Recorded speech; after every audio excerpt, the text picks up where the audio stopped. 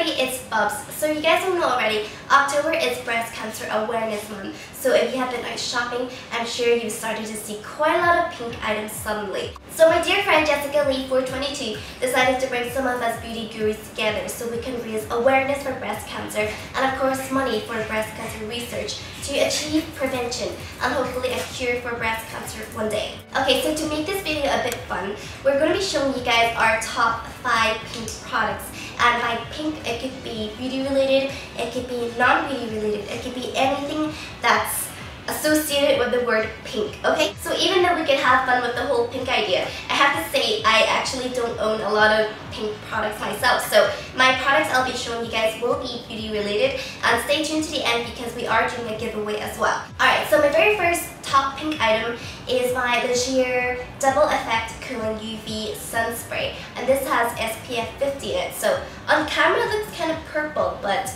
um, this is pink right? Yeah, it is pink. Unless I'm colorblind, but it's pink. Yeah. Who cares? It's it's for breast cancer. Kind of just had a moment there. But uh, I use this every single day. One of the very best beauty advice you can ever get is to wear sunscreen every day, even when it's not sunny.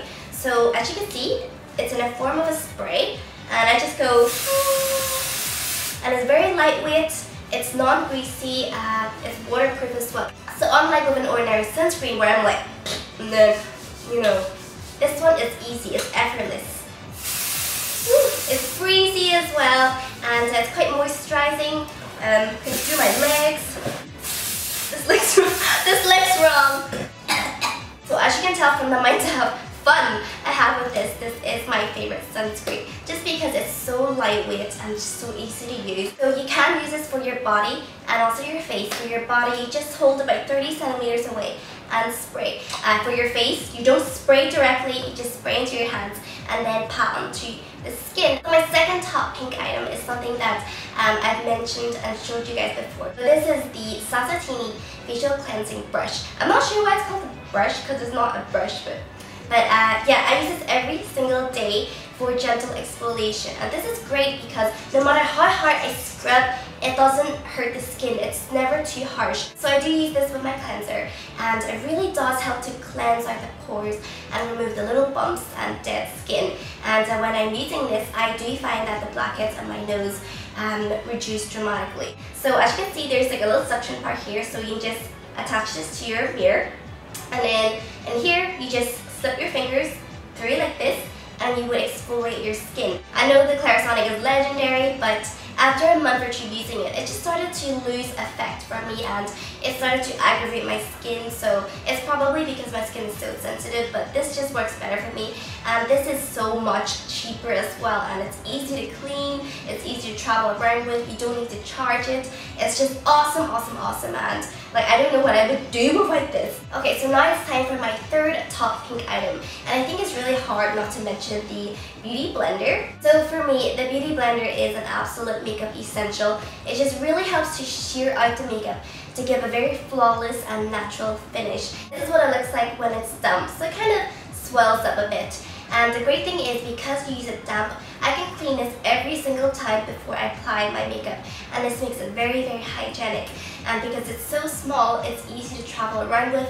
It's great for blending out your concealer. It's great for um, blending your foundation. It's even great for applying your powder as well. Fourth top pink item is my Dior Addict 2 perfume. So as you can tell, it's almost done. And this is a pretty big perfume as well, so it lasted me for like forever. But now it's time for me to buy a new one. So if you're interested in knowing what I smell like, well, I'm not good at explaining scents, okay? Some people are like, you know, first there's a hint of musk, and then there's a little bit of sandalwood, and then the second notes. I'm like, what? I have no idea what it means. All I know to explain stuff is by saying it smells nice. So I did have to look online to see how other people describe this fragrance, but uh, yeah, pineapple and grapefruit was mentioned a lot, and at first I was like, what? But then when I smelled it, I was like, oh yeah, it does smell a little bit like it, even though, you know, you wouldn't think they would smell that great, but it really does. This is the most girly perfume ever, and it's so sweet and it's fresh. Oh. And one time when I was on a bus, it's pretty obvious that some kid crapped himself in the bus. Everybody was dying on the bus. So luckily I had my perfume because like for the whole journey, I just had to sniff and breathe into my wrist. Fifth and final top pink item is my Victoria's Secret Beauty Rush uh, Body Double Mist. And this is in Plum Drop. Um, really sucks because some of you guys told me that Plum Drop is actually discontinued now. So you want to get it, you have to get it online on Amazon or something. But I love this. As you can see, I've used it quite a bit. Lately, the skin on my legs just started to get really dry. And uh, yeah, it started to feel really rough and scaly. So I went back to using this and now my legs are back to smooth and gluey.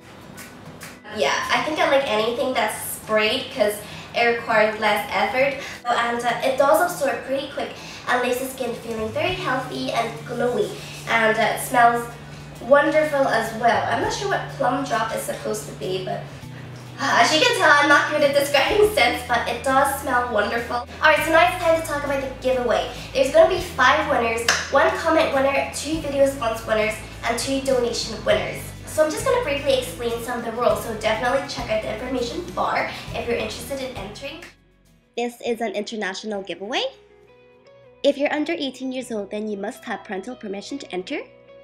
So for the comment winner, let us know in the comment section below what is your top pink product and what can you do to spread breast cancer awareness.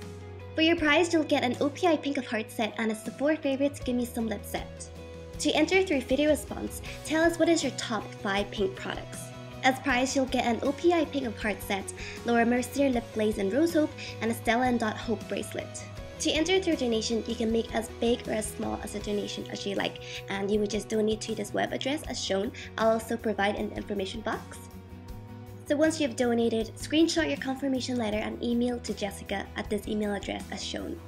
Remember, you can donate to your own breast cancer awareness cause. As prize, you'll get a Bobbi Brown pink peony set, Beanstalk Black Vanilla Raspberry Soap, OPI Pink of Heart Set, Shiseido Part of Love Lip Liqueur, Prismera Designed Hope Necklace, and a Stella and Dot Park Scarf. So we chose Breast Cancer Research Fund because they spend a high percent of their revenue towards programs and research. Contest starts today, ends in two weeks. So please show your support for all the beautiful and strong ladies across the world. Thank you so much for watching guys. Pink pink everyone. Bye bye.